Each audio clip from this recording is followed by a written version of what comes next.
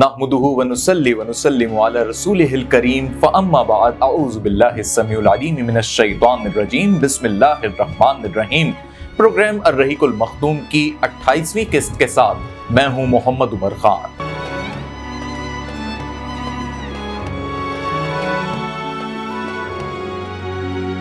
नाजरीन मोहतरम, गुजशत किस्त में हमने आपको बताया कि किस तरीके से अहल कुरैश बरहम हुए। जब उन्हें ये मालूम हुआ कि चार हफ्तों के इस मुख्तसर दौरानिए में चार बड़े ऐसे वाकयात हो चुके हैं कि अब मुसलमान हजूर अक्रम वसल्लम की क़्यादत में मजीद मुस्तहकम होते जा रहे हैं। लिहाजा अब कुफ़ार की जानब से ये तय कर लिया गया कि वो मुसलमानों का मुकम्मल तौर पर बॉयकॉट करेंगे। ये बॉयकॉट एक सियासी बॉयकॉट नहीं था, बल्कि ये एक माशरती बॉयकॉट था। ये इस तरीके का बॉयकॉट था जिसके अंदर ये तय किया गया कि मुसलमानों के साथ किसी भी तरीके का कोई ताल्लुक नहीं रखा जाएगा। और जो शख्स भी हुजूर अकरम सल्लल्लाहु अलैहि वसल्लम पर ईमान लाएगा तो उसको भी उस बॉयकॉट का सामना करना पड़ेगा। अब ये भी जुल्म सितम की ही एक किस्म है। यानी अब हाथ से ये जुल्म नहीं हो पा रहा, लेकिन अब ये माशरती तौर पर और इकतसादी तौर पर एक ऐसा जुल्म किया जा रहा है कि मजबूर किया जाए, दबाव डाला जा रहा है। इस तजवीज के बाद मुशरकिन वादी मुसहब में खैफ बिन कनाना के अंदर जमा हुए और आपस में बनी हाशिम और बनी मुतलब के खिलाफ जो अहदो पैमा हुए थे, जिसका ज़िक्र हमने गुजशत किस्त में किया था, अब उन्होंने ये तय कर लिया कि हम अपना एक एग्रीमेंट बनाते हैं। यानी अब मुशरकिन ने यह तय कर लिया। और ये एग्रीमेंट हम बना रहे हैं किसके खिलाफ? हुजूर अकरम वसल्लम के खिलाफ और उन लोगों के खिलाफ जो आप सल्लल्लाहु अलैहि वसल्लम के सहाबा में शामिल हैं, रुफका में शामिल हैं, और यहाँ तक कि वो लोग जो मुख्तलिफ़ कबाइल के हैं और आप सल्लल्लाहु अलैहि वसल्लम को सपोर्ट कर रहे हैं। गोया कि अगर वो लोग जो खुद मुसलमान नहीं हुए, लेकिन अगर वो आप सल्लल्लाहु अलैहि वसल्लम के हामी हैं तो उन्हें भी इस बाइकॉट का सामना करना पड़ेगा। बाइकॉट के कुछ जो मंदरजात हैं वो मैं आपके सामने रखता हूँ कि किस किस्म का ये बाइकॉट था। आखिर वो कैसा माशरती कटाव कर रहे थे मुसलमानों के साथ और उन लोगों के साथ जो आप सल्लल्लाहु अलैहि वसल्लम के हिमायती हैं। उन्होंने अपने इस बाइकॉट के जो बुनियादी मंदरजात थे उसमें ये रखा कि हम ऐसा बाइकॉट करेंगे कि फिर इन लोगों के साथ, यानी जो लोग आप सल्लल्लाहु अलैहि वसल्लम के साथ हैं, उनसे शादी बिया भी नहीं करेंगे। उनके साथ हम कोई खरीदो फरोख्त भी नहीं करेंगे। उनके साथ ना उठेंगे, ना बैठेंगे, ना कोई मेल जोल होगा, ना कुछ देंगे, ना कुछ लेंगे। और यहाँ तक के हम एक ऐसा मरहला इनके सामने ला देंगे कि बातचीत भी नहीं रखेंगे। यानी अब कोई डायलॉग भी नहीं होगा। बिल्कुल हर सतह का बायकॉट है। इनको कुछ खाने को भी नहीं दिया जाएगा। और अगर कोई खाने को देगा तो उसको भी उस बायकॉट का सामना करना पड़ेगा। यानी हम इन्हें इतना दबाव में लेकर आएँगे कि जब तक रसूल अक्रम वसल्लम को नाउजुबिल्ला सुम्मा नाउजुबिल्ला वो खुद मजबूर होके हमारे सामने पेश ना कर दें। और किस लिए पेश ना कर दें? नाउजुबिल्ला कत्ल करने के लिए। यानी ये इनका मंसूबा था कि हम एक ऐसा खतरनाक किस्म का बायकॉट करें कि जब इन्हें खाने को नहीं मिलेगा, जब ये भूखे मरने लगेंगे तो आखिर में ये तंग आके या तो आप सल्लल्लाहु अलैहि वसल्लम का साथ छोड़ देंगे और जो कबाइल के लोग हैं, आखिर में वो तंग आके अपने कबीले की बका के लिए, सलामती के लिए, खुराक के लिए, अपने बच्चों के अनाज के लिए और माशरती रख रखाव के लिए जब वो बहुत तंग आ जाएँगे तो अहले कुरैश और मुशरकिन की ये सोच थी कि फिर बनो हाशिम या बनो अब्दुल मुत्तलिब के लोग खुद आप सल्लल्लाहु अलैहि वसल्लम को हमारे सामने फिर पेश कर देंगे और फिर हम उन्हें नाउजुबिल्ला कत्ल कर देंगे। मुशरकिन ने इस सोच की बुनियाद पर एक तरीके की दस्तावेजात बनाई। इस बाइकॉट की दस्तावेजात एक सहीफे की तरह तैयार की गई, जिसमें ये तमाम बातें शामिल की गई। और इब्न कैम की ये रिवायत है, और ये कहा जाता है कि ये सहीफा Mansoor bin Akrama bin Aamir bin Hisham ने लिखा था। और इस सहीफे के उसने तमाम तर ये पॉइंट्स लिखे। इस सहीफे को खान काबा के अंदर लटका दिया गया। यानी अहले अरब का हर वो शख्स जो मक्का आता जाता है या मक्के के अंदर रहता है जब भी वो काबतुल्ला आएगा तो वो इस सहीफे को वहाँ पर लटका हुआ देखेगा और वो समझ जाएगा कि मुझे इन लोगों के साथ, इन कबाइल के साथ और आप सल्लल्लाहु अलैहि वसल्लम पर ईमान लाने वालों के साथ किसी किस्म का कोई ताल्लुक नहीं रखना और ये उसके लिए खौफ की अलामत भी होगा कि अगर मैंने कोई ताल्लुक रखा तो फिर मुझे भी इसी बाइकॉट का सामना करना पड़ेगा। अब उस वक्त अमूमी तौर पर लोगों के जो ज़रिए मुआश थे, वो तजारती चीज़ें थी। लोग तजारत करते थे, किसी मकाम से कोई चीज़ ला के मक्का में फरोख्त करते थे। या फिर उनके मक्का के अंदर कुछ ऐसे कारोबार होते थे जो आज की दुनिया में सर्विस ओरिएंटेड बिज़नेस कहलाते हैं। यानी उसमें ट्रेडिंग नहीं होती थी, लेकिन वो अपनी खिदमात देते थे और उसके बदले वो पैसे लेते थे। जब उन्हें महसूस हुआ कि जब हमारी आमदनी ही नहीं होगी, कोई ज़रिए मुआशी नहीं रहेगा तो फिर हम ऐसे इकदाम ना करें, यानी हम ऐसा कोई काम ही ना करें जिसकी वजह से हमारे कारोबार बंद हो, हमारी ट्रेडिंग बंद हो। लिहाजा उन्होंने इस बाइकॉट पर अमल करना शुरू किया। अवामुन्नास की जानब से जब इस बाइकॉट पर अमल होना शुरू हुआ तो यकीनी तौर पर मुसलमानों के लिए ये मुश्किल बनना शुरू हो गई। और तारीख हमें यह भी बताती है कि मामला इतने संगीन हो गए, क्योंकि फिर उसमें कोई अपना मकान भी किसी को रहने के लिए नहीं दे सकता। अब रिश्तेदारों में आपस में तलखियाँ भी बढ़ने लगी। यानी वो रिश्तेदार जो इस्लाम पर नहीं आए थे, यानी वो लोग जो एक ही घर में रहते थे, लेकिन दो लोग मुशरफ बा इस्लाम हो गए, लेकिन बाकी लोग नहीं हुए। तो उन्होंने उन लोगों को अपने घरों से निकाल दिया, क्योंकि वो ये डर गए थे, वो ये सोच बैठे थे कि अगर हमने इनको पनाह भी दी तो हम पर भी वही बाइकॉट लागू हो जाएगा।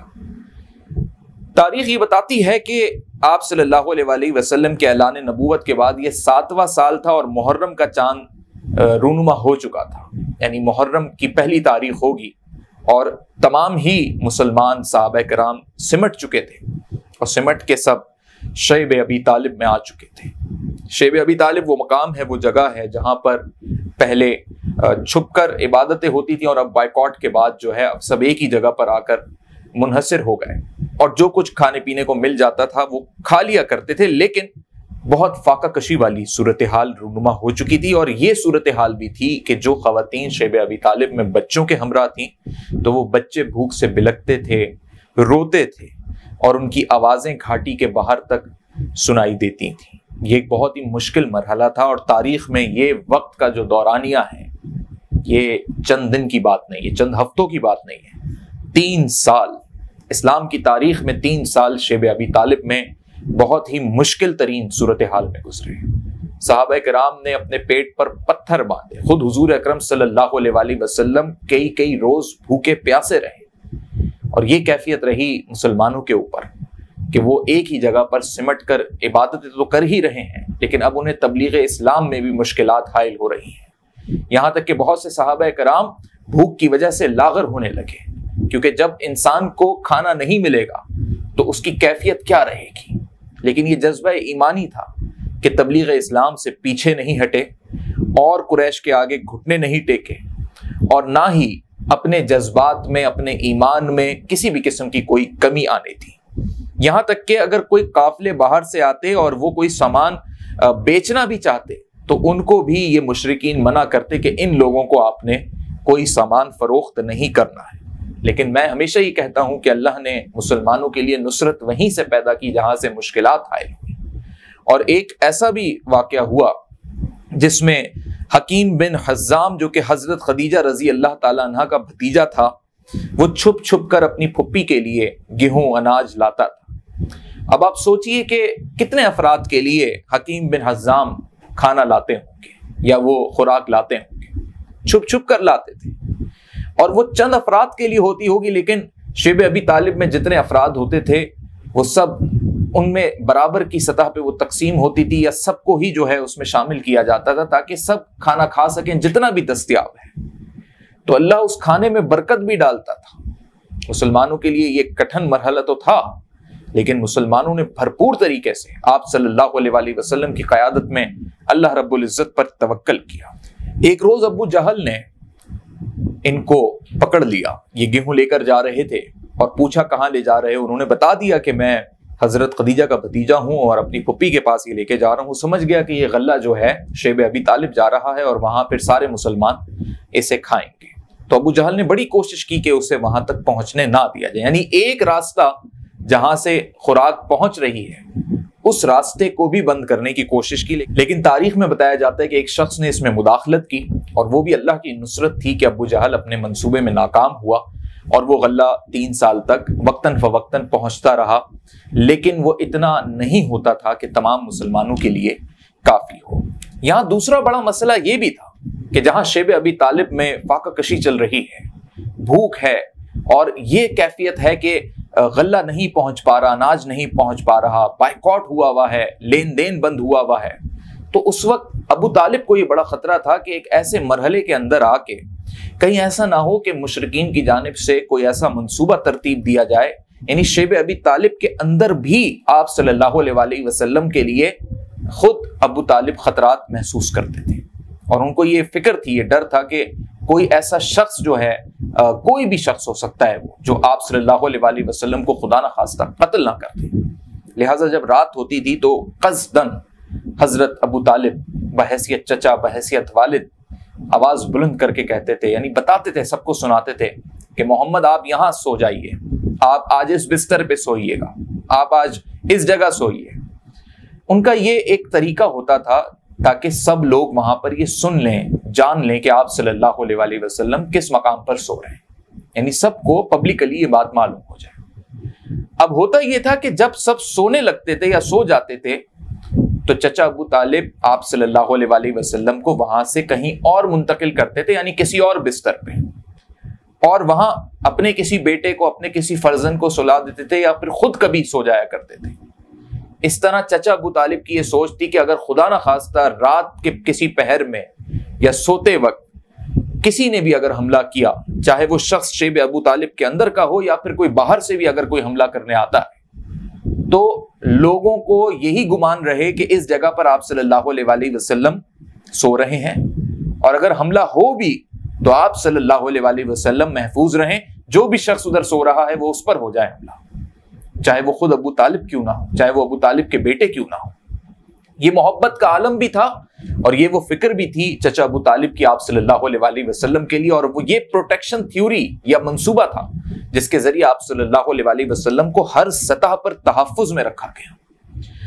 इसके बाद सूरत हाल ये हुई कि तीन साल का ये वक्त तो गुजरता रहा, लेकिन हर साल जब हज का मौका आता था तो उस वक्त भी मुसलमानों ने क्योंकि हजाज कराम मुख्तलिफ़ रियासतों, मुख्तलिफ़ जगहों से आते थे। अरब के मुख्तलिफ़ दूर दराज कबाइल से आते थे, अहल शाम से आते थे।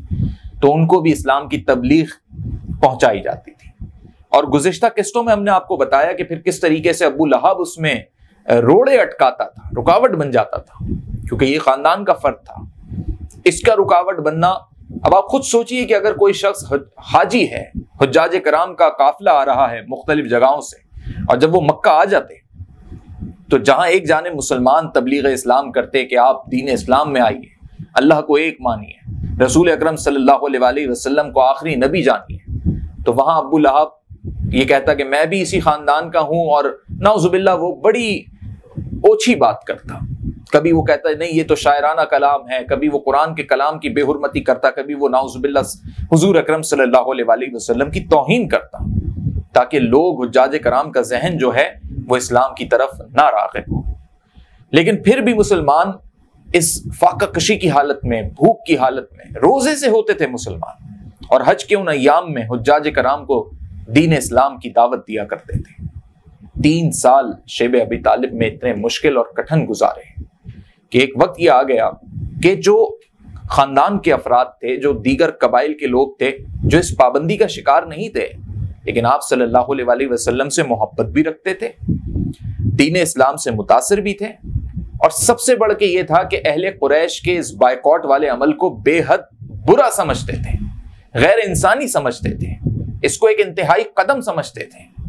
और उनसे रहा नहीं जा रहा था कि किस तरह हम रोकें, किस तरह इस बाइकआउट का खात्मा करवाएँ। लिहाजा ये कोशिश कहीं ना कहीं से तो ये चिराग जलना था। और ये चिराग फिर जला कबीला बनु आमिर बिन लुई के हशाम बिन अमर की जानब से, जिसने रात की तारीकी में छुपके छुपके ये शेब अबी तालिब में अपने घर का अनाज, अपने घर का राशन पहुंचाता था। क्योंकि ये मोहब्बत थी लोगों की। बहुत से लोग ऐसे थे जो दायरे इस्लाम में अलल ऐलान नहीं आए, जिन्होंने इकरार नहीं किया, लेकिन आप सल्लल्लाहु अलैहि वसल्लम के इस मिशन में वो उनके साथ साथ रहे। जहाँ जहाँ उनसे जो मदद हुई, और उसकी वजह कभी कबाइल का एक दूसरे से हमदर्दाना रवैया या एक कबीले, एक खानदान का होना साबित हुआ और कभी अल्लाह की जो सूरतें, जो तिलावत की जाती थी, जो आयात नाजिल होती थी, वो उनको मुतासर कर लेती थी। यानी वो माशरती सतह पे अपने आबा अजदाद और अपने स्टेटस की वजह से इकरार नहीं करते थे, लेकिन दिल से वो लोग भी मुसलमान अपने आप को तस्वुर करते थे। हुआ कुछ यूँ कि शेब अबी तालिब की सूरत हाल का अंदाज़ा कबीला बनो आमिर बिन लुई के, हशाम बिन अमर के ज़रिए जुहेर बिन अबी उमैया मखजूमी तक पहुँचता रहता था। जुहेर कौन है? जुहेर की माँ का नाम आतिका है और वो अब्दुल मुत्तलिब की साहबजादी यानी अबू तालिब की रिश्ते में बहन लगती है। तो जुहेर अबू तालिब का भतीजा है, यानी आप सल्लल्लाहु अलैहि वसल्लम का रिश्ते में कज़न है। शेब अबी तालिब के मामला जुहेर तक पहुँचते रहते थे कि क्या हालात तो वाकयात हैं, तीन साल से किस हद तक फाका कशी की सूरत हाल कुरैश ने, मुशरकिन ने पैदा की हुई है और ये बात अब उन्हें, ये पहले से इस माहे पे राज़ी नहीं थे। ये पहले से इस माहे के खिलाफ थे, लेकिन इन्हें मुशावरत में शामिल नहीं किया गया था। इन पर ये ऑर्डर तारी किया गया था। इनको सिर्फ़ हुक्म दिया गया था कि भाई ये हमने बना लिया है, ये मुआदा या ये हमने जो है ना सहीफा तैयार कर लिया और अब बाइकॉट हशाम बिन अमर जुहेर को ये तमाम तरह हालात तो वाकयात बताता था। जुहेर राज़ी था इस बात पे कि हशाम बिन अमर और जुहेर मिलकर कुछ करें। एक दिन हशाम बिन अमर अपने ही कबीले के एक शख्स के पास गया जिसका नाम अब्द मुनाफ का ही ये शख्स था, मुतम इसका नाम था, मुतम के पास गया और हशाम ने कहा कि देखो, हमारे अपने लोग हैं, बेबस हैं, हमारे अपने कबीले से ताल्लुक रखते हैं और करीबी नस्बती होने के नाते हम सबको, हम पर यह फ़र्ज़ है कि हम कुछ ना कुछ उनके लिए करें, उनके लिए आवाज़ बुलंद करें ताकि इस बाइकआउट का खात्मा हो। मुतम ने कहा कि मैं अकेला क्या करूँगा? तो हशाम ने कहा, मैं तुम्हारे साथ मुतम ने कहा कि हमें हमें तीसरा कोई फर्द तलाश करना चाहिए, क्यों? क्योंकि हशाम बिन अमर पहले से ये बातें जुहेर तक पहुंचाते रहे हैं। और जुहेर भी राज़ी थे इस बात पे कि हमें कुछ करना चाहिए। तो हशाम बिन अमर ने मुतम से कहा कि तीसरा फ़र्क मैंने तलाश कर लिया है। तो मुतम ने पूछा कि कौन है वो? तो हशाम बिन अमर ने कहा, वो जुहेर है। यानी आप सल्लल्लाहु अलैहि वसल्लम का रिश्ते में कज़न भी है और अब्दुल मुत्तलिब की बेटी, हज़रत अबू तालिब की बहन भी है। लिहाजा ये रिश्तेदारियाँ हैं इनकी आपस में। अब ये तीन अफराद हो गए। इसके बाद इनकी हिम्मत बढ़ी तो इन्होंने कहा, अब हमें चौथा कोई फर्द तलाश करना चाहिए। लिहाजा अब ये पहुँचे एक और शख्स के पास, और वहाँ उसको भी इन्होंने रागिब किया उसका ताल्लुक भी अब्द मनाफ से था, वो भी राज़ी हो गया। अब तलाश हुई पाँचवें शख्स की, उसके पास पहुँचे हशाम खुद गए, और जमा बिन असवद के पास गए। जमा बिन असवद भी हज़रत अब्दुल मुत्तलिब के बेटे हैं, यानी असवद जो हैं, वो भी चचा अबू तालिब के भाई हैं। तो इस तरीके से ये खानदान के वो तमाम अफराद जो इस्लाम में तो नहीं आए थे, जिन्होंने आप सल्लल्लाहु अलैहि वसल्लम की पैरवी तो नहीं की थी, लेकिन एक खानदान के फर्द होने के नाते ये सब आपस में जुड़ गए। अब इन्होंने एक मंसूबा तरतीब दिया, और ये तरतीब दिया कि हम अगले रोज इस बात को उठाएँगे काबतुल्लाह के पास, हरम में। और फिर वहाँ पर इस बात को इस तरह से उठाएँगे कि सब बैक ज़ुबान जो है, वो एक ही बात कहेंगे। तो अगले रोज हुआ ये कि जुहेर जब पहुँचा तो अबू जहल भी था हरम में काबतुल्लाह के पास। जुहेर ने आके सबसे पहले तवाफ काबा किया, तवाफ काबा के बाद वो खड़ा हुआ। उसने बड़ा शानदार एक लिबास पहना हुआ था और उसने कहा कि ये कैसा इंसाफ है? ये कैसा तौर तरीका है कि हम लोग अच्छे से अच्छा खाना खाएँ, अच्छे से अच्छा कपड़ा पहने, अच्छे से अच्छी ज़िंदगी गुजारें और हमारे अपने कबीले के लोग, हमारे अपने अरब के लोग, हमारे अपने अहले कुरैश के लोग भूखे रहें, भूखे सोएँ, बेसरो सामान अपनी ज़िंदगी गुजारें। ये कहाँ का इंसाफ है? इस बात के तराजुर में आगे से जमा बिन असवद ने भी जवाब दिया। लेकिन जैसे ही जुहेर ने बात शुरू की, अबू जहल समझ गया कि यह शेब अबी तालिब में मौजूद मुसलमानों की वकालत कर रहा है। तो अबू जहल ने उसी वक्त उसकी बात की, नफी की और अबू जहल ने यह कहा कि हमने एक सहीफा बनाया हुआ है और वो मस्जिद हरम में मौजूद है। हमें उनसे कोई ताल्लुक नहीं रखना। जिसपे जमा बिन असवद ने खड़े होकर जो है अबू जहल को जुटलाया कि तुम गलत बात कहते हो। इसी तरीके से मुतम ने भी अबू जहल की बात को झुटलाया और सबने एक दूसरे के बात की तायद की और सबने जब मिलकर अबू जहल की बात को झुटलाया तो अबू जहल ने भाप लिया और सबने यह तय कर लिया अबू जहल के सामने ही कि आज से हम इस बाइकआउट का खात्मा करेंगे और हम खुद अपने हाथ से इस सहीफे को फाड़ देंगे, जिसमें अहले कुरैश ने ही हमारे खानदान के लोगों का बाइकआउट किया हुआ है। ये क्या तौर तरीका है? इस पर अबू जहल ने कहा कि मुझे सब समझ आ गई। कि तुम लोगों ने मंसूबा कल रात कहीं और बनाया है। और आज जो ये तुम सब एक ज़ुबान होकर बातें कर रहे हो, इसकी तैयारी तुमने कहीं और की है। अभी ये बात चल ही रही थी कि इस दौरान चचा अबू तालिब काबतुल्लाह की तरफ़ आते हैं। जब हज़रत अबू तालिब वहाँ आते हैं, सब उनकी जाने मुतवजे होते हैं और हज़रत अबू तालिब कहते हैं कि मैं तुम सबके लिए खबर लेकर आया हूँ। और ये खबर मैं हजूर अक्रम वसल्लम की जानब से लाया हूँ। ये एक बड़ा मुआवजा है नाजरी उस सहीफे के हवाले से। और मैंने इसका ज़िक्र गुजशत किस्त में भी किया और इसको अब मैं मुफसल अंदाज में बयान करता हूँ।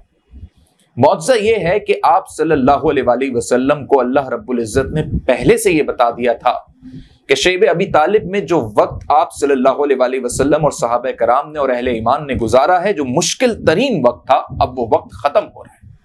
और जो सहीफा जो बॉयकॉट अहले कुरैश ने या फिर मुशरकिन ने किया है, अब वो एंड पर है। लिहाजा वो सहीफा फाड़ दिया जाएगा। लेकिन कुदरत का आप यहाँ पे कानून देखिए और अल्लाह का मुआवजा देखिए कि अल्लाह ने अपने प्यारे नबी पाक सल्लल्लाहु अलैहि वसल्लम को यह बताया कि उस सहीफे के अंदर हमने कीड़े पहुँचा दिए और कीड़ों ने वो सहीफा खा लिया है। सिवाय उन अल्फाजों के जहाँ पे अल्लाह का नाम लिखा है, बाकी सब जगहों को वो कीड़े चाट कर गए। ये खबर लेके चचा अबू तालिब अहले कुरैश के पास पहुँचे और काबतुल्ला में खड़े होकर ऐलान उन्होंने कहा कि देख लो, और अगर मेरी ये खबर गलत हो तो फिर तुम कहना। लेकिन अगर ये बात सच साबित हो कि वाकई उस सहीफे को कीड़े चाट गए तो फिर तुम ये मान लेना कि मेरे भतीजे मोहम्मद सल्लल्लाहु अलैहि वसल्लम का जो दीन है, वो हक का दीन है। अभी यहाँ पे काबतुल्ला में ये बहस हो ही रही थी। अभी ये बात हो ही रही थी। अभी हशाम बिन अमर, जुहेर, मुतम और दीगर लोग उस बाइकॉट के खात्मे की ऐलान कर रहे थे और ये कह रहे थे कि हम अपने हाथ से फाड़ेंगे। वहाँ ये बशारत हुई, ये मुआवजा हुआ और आप सल्लल्लाहु अलैहि वसल्लम ने जब ये अपने चचा को बताया तो चचा ने जब आके पूरे अहले अरब के सामने, अहले कुरैश और मुशरकिन के सामने ये बात रखी, और जब फिर सबने उस सहीफे को देखा तो वाकई वो सहीफा कीड़े खा चुके थे। वो डॉक्यूमेंट जो उन्होंने बनाया था कागज़ का, कीड़े खा चुके थे, और हैरत अंगेज बात यह थी कि उस सहीफे पे सिर्फ़ वो अल्फाज बाकी रह गए थे, जिनमें अल्लाह का नाम था या फिर अल्लाह का ज़िक्र था। नबी पाक सल्लल्लाहु अलैहि वसल्लम ने जो खबर दी थी, वो सच साबित हुई और अहले कुरैश ने जब ये देखा तो वो दंग रह गए, हैरान रह गए। और जो अल्फाज सिर्फ़ बाकी रह गए, उसमें बीसमी का अल्लाह ये अल्फाज, और जहाँ जहाँ अल्लाह का नाम था, सिर्फ़ ये अल्फाज बाकी रहे। लेकिन इसके बावजूद भी ये सहीफा तो कीड़े खा गए। बाइकॉट तो खत्म हो गया। कबाइल के खानदान के लोग खुद खड़े होकर उन्होंने मुशरकिन के उस बाइकॉट के खिलाफ आवाज़ बुलंद कर दी। लेकिन इसके बावजूद भी अबू जहल, इसके बावजूद भी इतना बड़ा मुआवजा देखने के बावजूद भी और इतना शरंगेज काम करने के बावजूद भी और तीन साल तक शिब अभी तालिब में अहले ईमान का सबर देखने के बावजूद भी ये लोग ईमान नहीं लाए। और इसका ज़िक्र कुरान मजीद में कुछ इस तरह हुआ कि वह यरू आयात युरिदु व यकूलू मुस्तमर। तर्जुमा इसका यह है कि अगर वो कोई निशानी देखते हैं तो रुख फेर लेते हैं और कहते हैं कि ये तो चलता फिरता जादू है। यानी उन्होंने उस सहीफे के चाक होने और उस सहीफे के कीड़ों के खाने के बावजूद भी, और जहाँ जहाँ अल्लाह का नाम था, वो महफूज जगह देखने के बावजूद भी उसको नहीं तस्लीम किया। गोया के मुशरकिन ने यह तय कर लिया कि बेशक ये बाइकॉट खत्म तो हो रहा है लेकिन हम दायरा इस्लाम में नहीं आएँगे। अब मुशरकिन ने और कुफार की जानब से ये आखिरी कोशिश की गई। और ये आखिरी कोशिश थी एक वक्त की सूरत में, जो ये आखिरी वक्त था, जो अबू तालिब की खिदमत में आया। और इस वक्त ने क्या बात कही? और इस वक्त के साथ डायलॉग में आप सल्लल्लाहु अलैहि वसल्लम ने जो बात रखी, वो बड़ी तारीखी बात है। वो ऐसी बात थी कि उस बात के बाद पूरा अहले कुरैश, मुशरकिन, ये कुफ़ार, ये जो कई बरसों से आप सल्लल्लाहु अलैहि वसल्लम के खिलाफ लगे हुए थे, इनके मुँह पर ताले लग गए। इनके पैरों से ज़मीन निकल गई। एक ऐसी बात आप सल्लल्लाहु अलैहि वसल्लम ने इनके सामने रखी। तो कुरैश का ये जो आखिरी वफ्द आया, उसने क्या बात चचा अबू तालिब से कही? और उस पूरे मुबासे में या उस डायलॉग के अंदर आप सल्लल्लाहु अलैहि वसल्लम ने वो क्या बात रखी, ये हम आपको अगली किस्त में बताएँगे। इस किस्त में जाने अनजाने में अगर मुझसे कोई गलती सरजत हुई हो तो मैं अल्लाह के हुजूर, मुआफ़ी का तलबकार हूँ। असलकम वरहमतुल्लाह।